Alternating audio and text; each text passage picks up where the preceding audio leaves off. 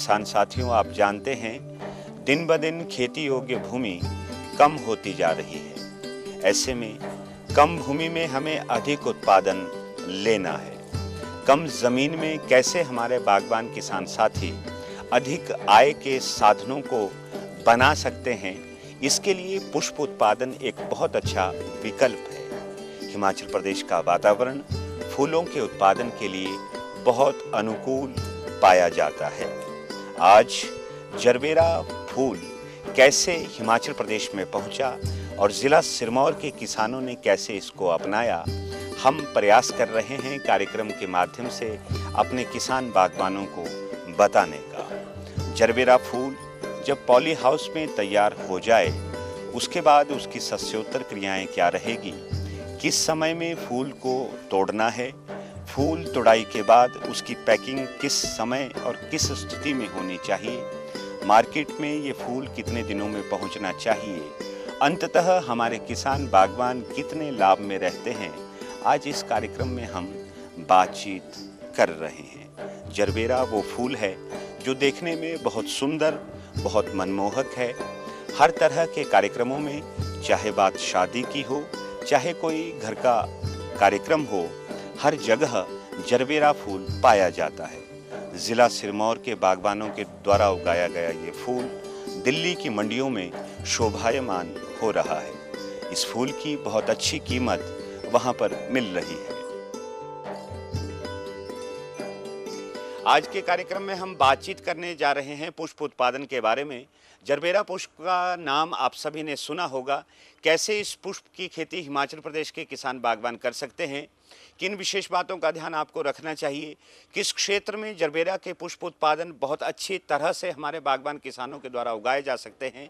ये सारी जानकारी लेने के लिए आज हम आ पहुँचे हैं ज़िला सिरमौर के धौला कुआँ स्थित क्षेत्रीय बागवानी अनुसंधान केंद्र में। और यहाँ पर हम जानकारी लेंगे पुष्प वैज्ञानिक डॉक्टर प्रियंका से इनसे जानेंगे कि जरबेरा पुष्प का उत्पादन हिमाचल प्रदेश में कैसे संभव हो सकता है। जरबेरा एक अत्यंत सुंदर, मनमोहक व आकर्षक पुष्प है। यह दुनिया भर में उगाई जाने वाली एक महत्वपूर्ण पुष्पीय फ़सल है। विश्व तथा भारत की पुष्प मंडियों में इसकी मांग लगातार बढ़ रही है और ये लोकप्रिय भी हो रहा है। और इसका कारण है इसकी लंबी व मज़बूत डंडियाँ और उन पर लगने वाले तरह तरह के विभिन्न प्रकार आकार और प्रकार के आकृतियों के सुंदर पुष्प, इसकी गुलदान आयु भी बहुत लंबी है। इसे कटे फूलों के रूप में, गमलों में, क्यारियों में, कोनों में, और आजकल आप देखेंगे कि जितने भी शादी, ब्याह और त्यौहार, उत्सव होते हैं तो उनमें इनका प्रचलन बहुत ही बढ़ गया है। शादी ब्याह के अवसरों में तो पूरे के पूरे पंडाल ही इन फूलों से सजाए जाते हैं।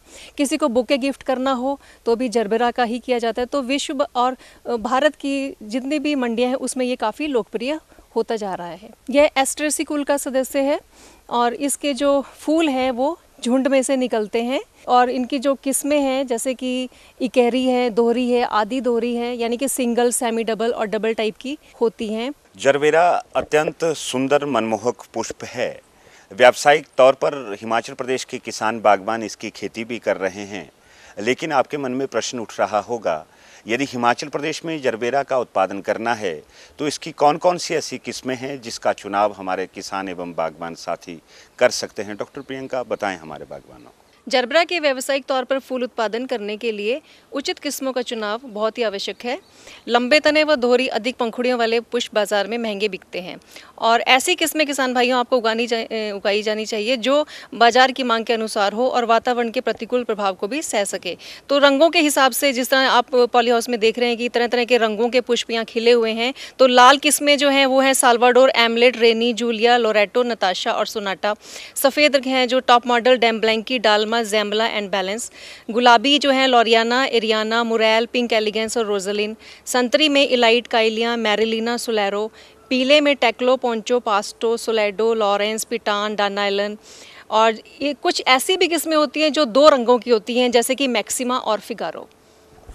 लेकिन अब प्रश्न ये उठता है कि जरबेरा की खेती हमारे किसान एवं बागबान करे कहाँ? क्या इसे संरक्षित तौर पर किया जा सकता है? इसके लिए वातावरण की किस तरह की आवश्यकता रहती है? जलवायु कैसा चाहिए? खाद उर्वरक और पानी को किस तरह से हमारे बागबानों को सुनिश्चित बनाना होगा? डॉक्टर प्रियंका जरबेरा का उत्पादन यदि हमारे बागबान किसान साथी करते हैं तो क्या इसे खुले में उगाया जा सकता है या पॉली हाउस में अधिक उत्पादन हमारे बागबान ले सकते हैं? जरबरा के उत्तम क्वालिटी के पुष्प प्राप्त करने के लिए इसे नेचुरली वेंटिलेटेड पॉली हाउस में है जैसे कि आप ये यहाँ सामने भी देख रहे हैं प्राकृतिक रूप से जो हवादार पॉली हाउस है, वो दोनों तरफ़ से खुला होता है, इसमें एंटी शेड नेट नेट लगा होता है और इसमें ऊपर से भी हवा का प्रवाह का प्रावधान रहता है। सर्दियों के मौसम में पाले से बचाने के लिए पौधों को तो ये साइड से रोल कर दिया जाता है ताकि अंदर गर्मी बनी रहे और जिस वक्त गर्मियाँ होती हैं, उस वक्त इसमें ऊपर से 50 प्रतिशत नेट शेडिंग नेट लगाकर इसमें छाया प्रदान की जाती है ताकि जो पुष्पों को एक अनुकूल वातावरण मिल सके। वैसे 22 से 25 डिग्री सेल्सियस दिन का तापमान और 12 से 16 डिग्री रात का तापमान, जो औसतन इसका जो तापमान है, वो इन फूलों के लिए अति अनिवार्य है। दूसरा 50 से 60 प्रतिशत इसमें आर्द्रता होनी चाहिए। अगर इसमें नमी प्रदान करनी है और गर्मियों के मौसम में ज़्यादा गर्मी हो गई है तो क्यारियों में पानी दें, इसके रास्तों में भी पानी दें और आजकल तो मिस्टर्स हैं फॉगर्स हैं इसमें काफ़ी प्रावधान रहता है जो आजकल के मॉडर्न जो पॉली हाउसेज हैं इस तरह से इसमें ये नमी प्रदान हो जाएगी। अच्छा और दूसरा ये है कि जब लगाना है पौधों को तो आ, मैं किसान भाइयों आपको ये बताना चाहती हूँ कि ये पौधे के एफ़ बायो प्लांट्स पुणे और फ्लोरेंस फ्लोरा न्यू दिल्ली से प्राप्त किए जा सकते हैं। और आमतौर पर ये जीफी पॉट्स में आते हैं जो कि एकदम ही लगाने के लिए तैयार रहते हैं। तो लेकिन उससे पहले ज़रूरी है कि आप अपनी मिट्टी का उपचार कर लें। सबसे जो अहम बात इसके अंदर जरबरा में है कि मिट्टी का उपचार करना बहुत ही ज़रूरी है। अन्यथा इसमें पीथियम फाइटोफ्तोरा और फ्यूजेरियम जैसी बीमारियाँ आती हैं, जिससे कि पौधे को अधिक नुकसान पहुँचता है। तो इसके लिए सबसे पहले जैसे फॉर्मेलिन है 100 एम प्रति पाँच लीटर और मिथाइल ब्रोमाइड एक रसायन है जो कि 20 से 30 ग्राम प्रति लीटर के हिसाब से इसमें मिलाया जाता है। लेकिन जो आजकल सबसे ज़्यादा कारगर सिद्ध हो रहा है, वो है नैनो सिल्वर, जो कि ढाई एमएल पर लीटर के हिसाब से मिलाया जाता है। और इसमें किसानों को ज़्यादा दिनों तक इंतज़ार नहीं करना पड़ता। जैसे कि पहले फॉर्मलिन में करना पड़ता था, उसको ढकना पड़ता था शीट से, फिर जब उसके रसायन के अवशेष निकल जाएँ, उसके बाद वो प्लांटिंग करते थे सात से दस दिन के बाद। लेकिन इसमें ऐसा है, nano silver with hydrogen peroxide, इसके अंदर ऐसा है कि आप इवन पाँच से छः घंटे बाद भी इसमें प्लांटिंग कर सकते हैं। तो जब भी भी प्लांटिंग आप करें तो इस बात का ध्यान रखें कि इसके अंदर जो जीफी पॉट्स के पचहत्तर प्रतिशत जो पौधा है, वो नीचे जाए और जो पच्चीस परसेंट है, वो ऊपर है क्योंकि ऐसा नहीं हो कि वो जब पानी दें उसके ऊपर से तो वो नीचे धंसता चला जाए और फिर उससे रोगों रोगों में ज़्यादा वृद्धि हो जाती है। तो एक तो ये तरीका है। दूसरा, जब भी हम इनको पौधे लगाएँ तो इसमें टपक सिंचाई जो इसकी जो आपूर्ति है, वो 300 से 500 प्रति एमएल जो पौधा है प्रति दिन के हिसाब से देना चाहिए। तो ये टपक सिंचाई द्वारा ही आपूर्ति इसकी पूरी की जा सकती है।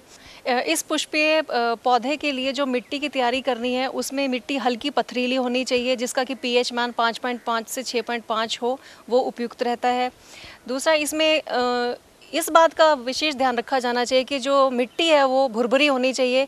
पौधे के नीचे या जड़ों में कोई ऐसी कोई भी मोटी परत या कोई पत्थर जैसा ना हो जिसकी वजह से उसकी जो जड़ें हैं उनको बढ़ने में कोई आ, मुश्किल आए तो वो हल्की परत वो हटा देनी चाहिए। दूसरा एक जैसे चावल की भूसी है आ, मिट्टी चावल की भूसी और आ, गोबर रेत इन सब की मात्रा जैसे ठीक होनी चाहिए। चावल की भूसी से क्या होता है कि इसमें पकड़ आ जाती है मिट्टी के अंदर। तो दूसरा ये कि वर्मिकोलाइट कोकोपीट नारियल का बुरादा, ये सारी चीज़ें भी इस्तेमाल कर सकते हैं मीडिया मिश्रण बनाने के लिए इसको। लेकिन चावल की भूसी निचले पर्वतीय क्षेत्रों में बहुत ही अच्छी पाई गई है। इसकी सफल खेती और उसके अच्छे पुष्प उत्पादन के लिए। अब इसमें है कि जब हमने पौधा लगाना है तो कितने से कितने दूरी होनी चाहिए? तो पौधे, जिस तरह से आप ये क्यारियाँ देख रहे हैं, नीचे से इसका जो बेस है वो सत्तर सेंटीमीटर होता है, ऊपर आकर ये साठ सेंटीमीटर और पौधे से पौधे की जो दूरी है वो तीस सेंटीमीटर इस तरह से एक स्क्वेयर मीटर में तीन से छः चार से छः पौधे आते हैं। तो इस एक स्क्वायर मीटर में। लेकिन यहाँ जब हम व्यावसायिक तौर पर इसकी पुष्प उत्पादन करते हैं तो जो लंबाई है क्यारों की, वो पॉली हाउस के साथ साथ चलती है और जो पौधे हैं वो तीस सेंटीमीटर के फासले पे लगाए जाते हैं। बीच में जो क्यारी से क्यारी का डिफरेंस है, वो तीस से चालीस सेंटीमीटर होता है। तो सिरमौर के बागवान किसानों को आप क्यों आग्रह करती है कि पुष्प उत्पादन को अपनाएँ? ऐसा पुष्प उत्पादन में क्या है, जो दूसरे तरह की खेती में नहीं है? किसान भाइयों आज के परिवेश में पुष्प उत्पादन मात्र एक शौक ना रहकर एक लाभदायक व्यवसाय बनता जा रहा है। अगर बंदरों से निजात पाना है तो पुष्प उत्पादन करें।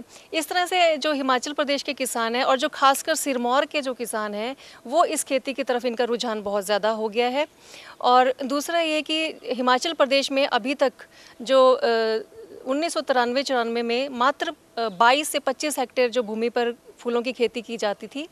आज के परिवेश में यह आंकड़ा 801 हेक्टेयर तक पहुँच गया है और सिरमौर ज़िले में ही इसका 430 हेक्टेयर एरिया है, जिसमें कि तरह तरह के पुष्प जो किसान हैं वो उगाते हैं और यहाँ के जो कर्मठ और मेहनती किसान हैं वो इनकी पुष्पों की खेती करते हैं और जितने भी इसमें बागवानी से रिलेटेड जितने भी काम होते हैं वो सारे ये करते हैं और हमसे आकर ट्रेनिंग भी लेते हैं और हम इनको सारी जानकारी इसको लगाने के लिए देते हैं।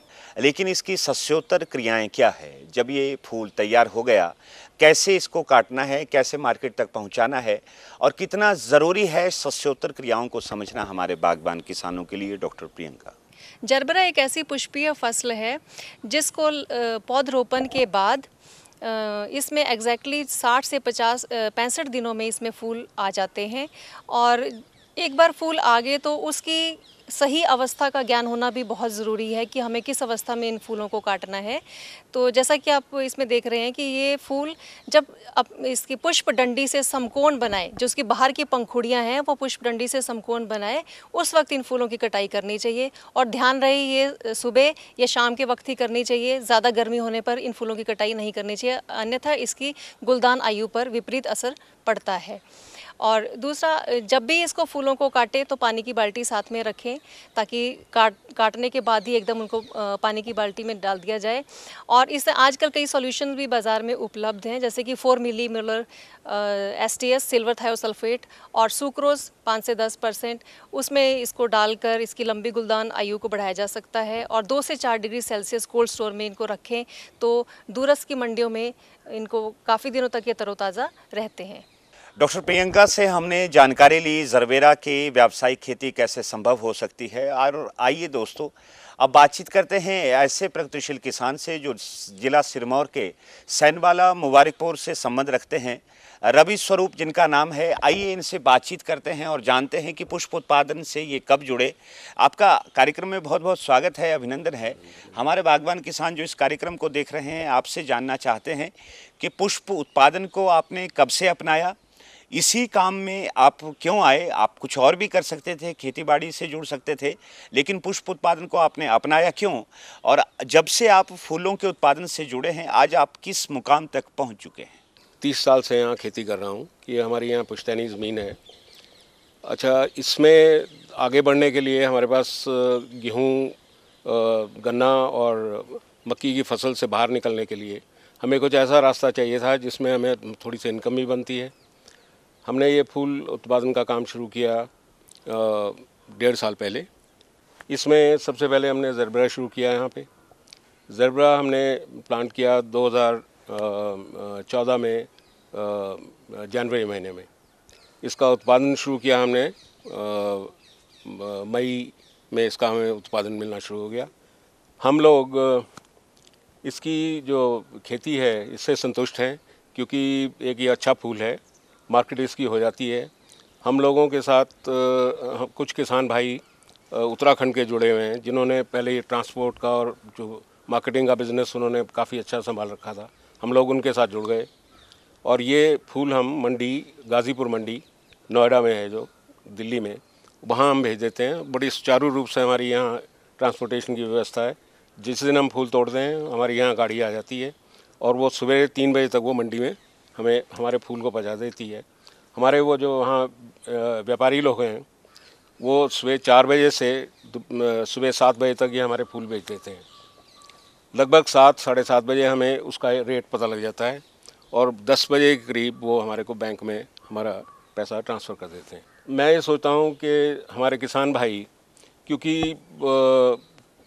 ये जो खेती है बाकी, जैसे व्यवहार में जब सब लोग कर रहे हैं, उससे निकल के अब इस काम में जुड़ें तो बहुत ज़्यादा फ़ायदा हो सकता है किसान भाइयों को। मैं कहता हूँ, इनको बच्चों को जो नए लड़के हैं, जो कि और जगह उनको जहाँ जॉब नहीं मिल रही है, उनको फूलों की खेती में आना चाहिए।